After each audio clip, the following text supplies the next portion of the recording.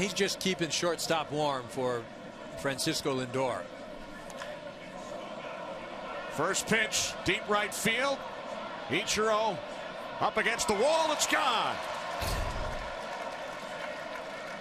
Jose Ramirez takes Brandon McCarthy deep. And the Indians take a 2 0 lead at the top of the second inning for Ramirez, his first major league home run. Well, he gets this ball up in the air in a day game where it's warm and you've got that short right field porch. That ball just continues to carry and carry. Not a lot of movement right down the middle part of the plate. He's hoping, he's hoping.